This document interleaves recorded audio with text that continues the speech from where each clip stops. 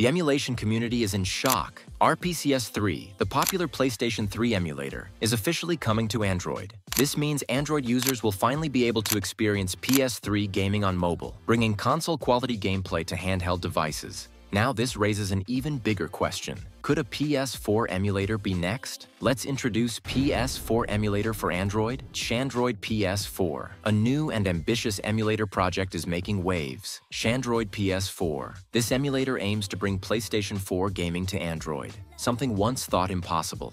The developer behind this project is adapting Shad PS4, a well-known PS4 emulator for PC, to work on mobile devices. Even more astonishing, the team has set a 14-day deadline to create a working prototype, and only seven days remain. If successful, this could change mobile gaming forever.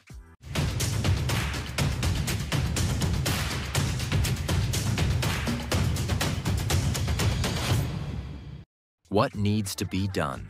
To make this project a reality, the developers must tackle several critical challenges. ARM64 to AMD64, JIT compiler, essential for translating PS4 instructions into a format mobile hardware can process. Library optimization. System calls and libraries must be optimized for smooth performance on Android devices. Touchscreen UI. A user-friendly interface is needed so games can be played without a controller. If these challenges are overcome, Shandroid PS4 could mark a massive breakthrough in mobile emulation technology. Big question, can it really work? While the idea is exciting, the biggest question remains, is PS4 emulation on Android even possible? PS4 games are highly demanding, and even powerful gaming PCs struggle to run them smoothly. Running these games on smartphones presents major hurdles, including storage space, Many PS4 games exceed 50 gigabytes to 100 gigabytes, making storage a serious concern.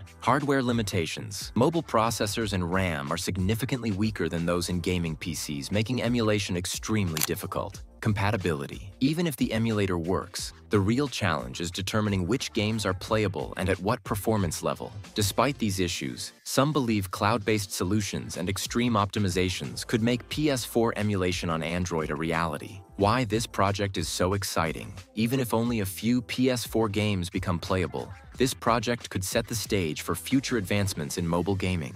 The ability to run console-quality games on a smartphone would be a game changer, making high-end titles more accessible. What makes this even more thrilling is the speed of development. The team is working at an unbelievable pace. If they make even a small breakthrough, it could pave the way for even more advanced console emulation on mobile. We can expect the Shandroid PS4 system requirements. Since the emulator is still in early development, these are the likely requirements. At this stage, Shandroid PS4 is still in development, and many questions remain unanswered. But the fact that a PS4 emulator for Android is in the works is a huge step forward for gaming technology. If successful, it could revolutionize emulation and bring us closer to next-gen gaming on mobile devices. Don't forget to subscribe for more mind-blowing updates on emulation, gaming, and tech news. Thanks for watching, and I'll see you in the next one. Take care.